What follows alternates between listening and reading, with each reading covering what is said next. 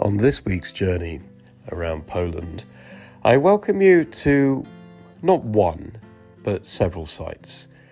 We went to the area around a city called Tomaszów Mazowiecki. And here we saw a World War II bunker, which um, was pretty cool. Uh, we went to a grotto, which uh, used to be a sand mine with uh, some interesting sights and something a little bit different uh, from the norm. And we went to a ethnographic museum, which taught us a little bit about the history of Poland, culture, crafts, that sort of thing. And we hit a few more sites as well, including a skansen, which is like an outdoor museum, which uh, again told us a little bit about the history of the area. And we ended up in this beautiful nature reserve called the Blue Spring Reserve. So, I hope you enjoy this video. It gives you some other random things to see around Poland that you may not see in the normal tourist guides. So, stay tuned. Dzień dobry.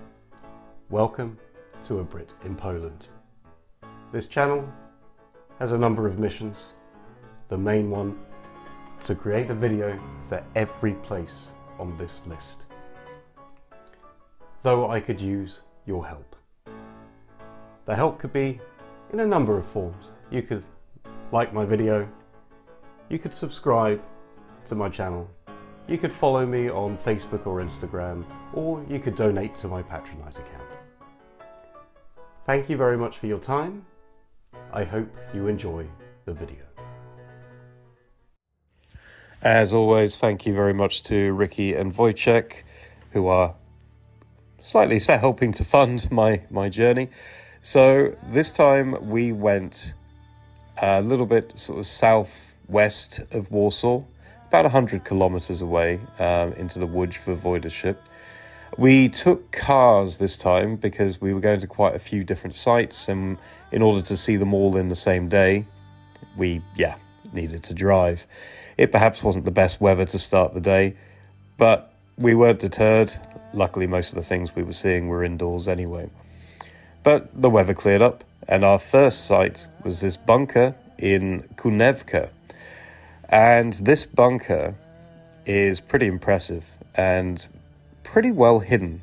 As you can sort of see, it's in the middle of the forest, so it's a bit out of the way. It was kind of connected by train. And already you have this kind of fear, this feeling of like foreboding uh, going into the place. Of course, now it's just a big, you know, tourist attraction, but during World War II, this was a pretty heavily used military site. So the bunker you see now is one of three main command centers for Hitler on the Eastern Front. And actually, the building itself is about 380 meters long. You know, it's a pretty extensive structure. In fact, it was so long um, that they were even storing trains, well, at least a train in here as well, uh, as well as a lot of artillery. So it was quite the supply depot, you could say, for the area, and quite an intimidating sight, I have to say. So you go inside and you have this long, long tunnel. It was about 19 zloty or something. You needed to bring cash uh, for this place. So one thing to note about Poland is occasionally you will encounter places that are not card friendly. So if you're going on these random excursions, cash is a good idea. You have the museum piece to it, so you have lots of exhibits of pretty much military equipment, ranging from weapons to helmets to radio equipment uh, to vehicles uh, that were used. So if you're a history buff, this is a must see place because you are going to see a lot. And yeah, like it takes a fair while to walk through the bunker, uh, given the size and given the amount there is to read and see. Uh, here's an example of one of the trains that you would have seen coming out. See the large artillery piece on the top. So, pretty intimidating.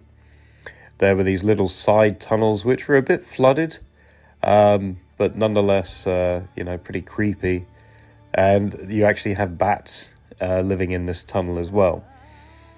But yeah, certainly I felt a little bit like there just was this weird, eerie thing. And I kept seeing, like as you see on the screen now, these little globules of light on the lens. And if you watch enough kind of ghost stories, that can be an indication of a haunting. But I didn't hear about any ghost stories when I was there. Though you have to admit, it does seem a little bit creepy and eerie. You would not want to be here at night, for sure. Now, there is actually a kind of secret tunnel leading from this to one of the many complexes that you see around it. It's about 80 meters, but it's only open in the summer, so uh, sadly we didn't get to see it. But what you have dotted around this bunker are a whole series of technical bunkers. And these were containing generators, boiler rooms, ventilators, uh, water pumps. You know, they, they were, it was all part of a big complex to basically, you know, keep everything running. And you can only imagine the amount of destruction that came from this place, spewing forth over the country of Poland. It was established in 1940, and I believe construction finished around 1941 and there was a secret Nazi code name called Anlage Mitte, and uh, the construction work was carried out by only German and Italian workers to keep it extra secret. So, like Treblinka, another kind of hidden German atrocity. So, we drive to our next site, and this was probably one of my uh, my favorite ones because I'm a big fan of nature, and whenever I get to see any kind of natural wonders, even if slightly artificial, um, I enjoy it. So we went to Nagórzyckie uh, Grotto, and here in the gift shop, you can see a lot of glass, uh, including a lot of glass snails, which um, was a bit surprising. And there's a reason why they're selling so much glass in this uh, this gift shop, which we will come on to as the video progresses. Here you have the Flintstone car or the Flintmobile or whatever it was called, um, which is a great place for selfies. Inside the grotto, you basically are encounter you have a you have to go by tour guide, and tours go every half an hour. I think it was about twenty zloty or so to get in. The tour guide spoke in English uh, brilliantly, and he was very, very enthusiastic. So I do recommend this. Um, and he was telling all these stories about the about the, uh, the, the what you see here, which was a mine, uh, more specifically a sand mine, uh, because this is quite a unique geological thing. You have these sort of sandstone, deep sandstone areas uh, but it's very, very soft sandstone, so you can actually dig it out with your hands if you uh, really put some effort in. And this site was operational from uh, the end of the 18th century up until about kind of the uh, the 20th century or so. And what they were digging here was sand, which was used a lot for farming and whatever in the local area. But it's more famous because of the 80% uh, transparent quartz within the sand. So, this sand is actually incredibly useful for glassworks and was exported around a lot of Europe, even as far as Japan. So, a lot of the glassworks of this period uh, came from here. Uh, this is an emergency exit just in case because uh, it's perhaps not the most stable area. It's nice and stable for tourists now, but there were a few tunnel collapses uh, through its history. What at least one person died, and here is a pretty cool story. Um, you've got the uh, the devil from Nagórzycki. Um, and here, a miner was working one day, and a man dressed in a checked frock coat and red tights with a black hat appeared, surrounded by bats. He offered him money in terms of a week's worth of money for one day's worth of work, but that day of work had to be a Sunday, which, if you're even vaguely religious, is uh, the day you're not supposed to work. Um, and so, realizing who it was, the miner ran away. So, here you have a little bit of a, a glass works within the tunnel to kind of indicate uh, what they were doing uh, with some of the sand. So, it's pretty cool. And I have to admit, like, this was just fun. Like it, it was really cool. The temperature within the uh, the cave is always between seven and ten degrees, no matter the temperature outside. And if that temperature shifts, then all of this sand is going to collapse. It's kind of a very unique geological state. So we moved on to the next site, and this is where we go into the city of uh, Mazowiecki itself. And this is actually the fourth largest city in the uh, the Łódź voivodeship, uh, formed in 1788 and is now famous for having an all year round speed skating track. And in autumn, it hosts the Love Polish Jazz Festival.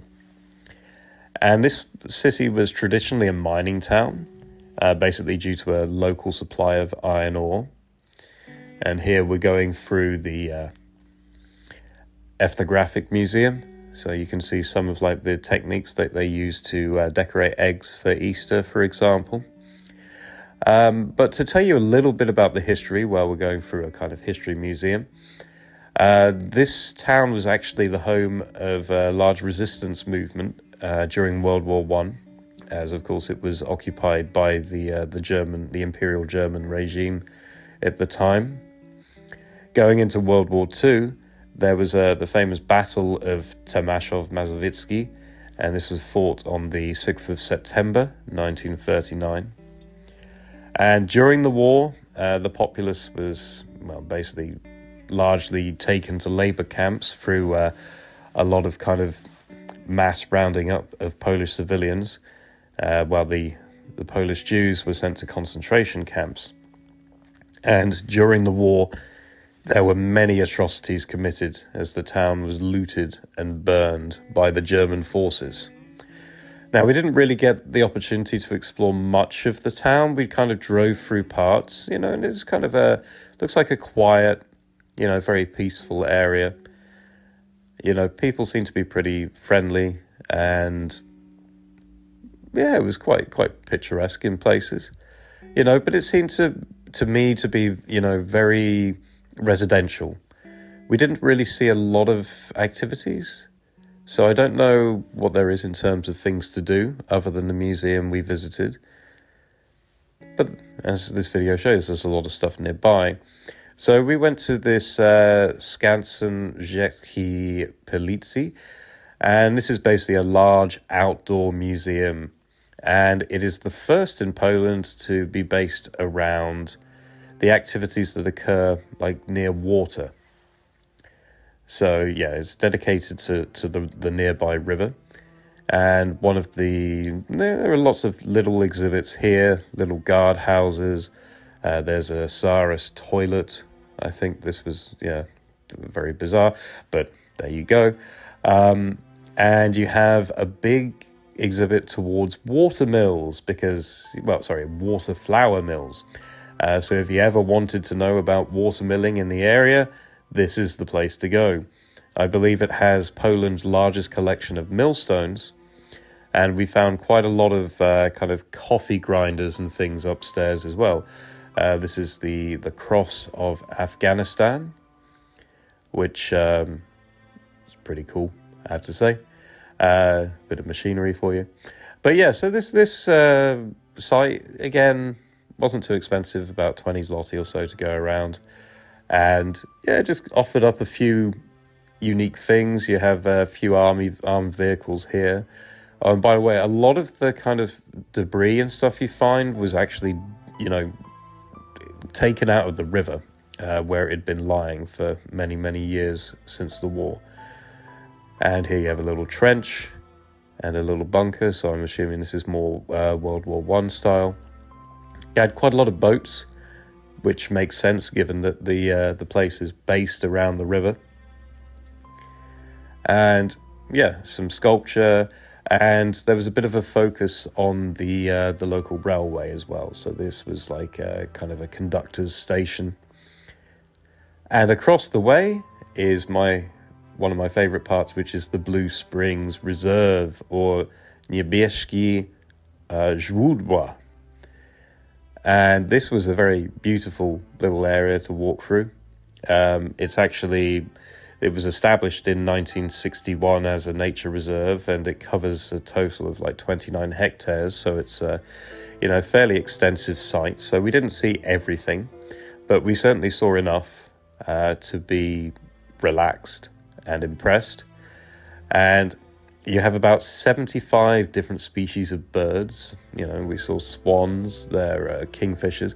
But what you're seeing now is the main draw of the place. So this is known as like one of the freshest spring water areas in Poland with the clearest water you will see. And the park is named because of its like turquoise to emerald color, which you're you're seeing now, which is a bit of an optical illusion uh, from the light that that uh, you know shines down. And the water was said to have kind of medicinal properties. Much to the horror of the group I was with, I did take a bit of a sip. Um, I wasn't ill afterwards, despite their protestations that they perhaps thought I should walk back in case of accidents in the car. Um, but yeah, this was an, an absolutely lovely little diversion to end the day. But we couldn't quite finish there uh, because we decided we were going to stop for a bite to eat. There, I think there were two main restaurants um, in the city, so we stopped for some Baltic food. Uh, lovely, lovely uh, meal. Come on. And I hope you enjoyed. Do zobaczenia. I believe this is for kids, right? we are big kids.